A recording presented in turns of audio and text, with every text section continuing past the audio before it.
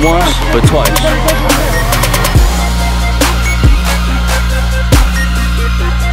Under the Radar Sports Media, the hottest sports videos in the nation.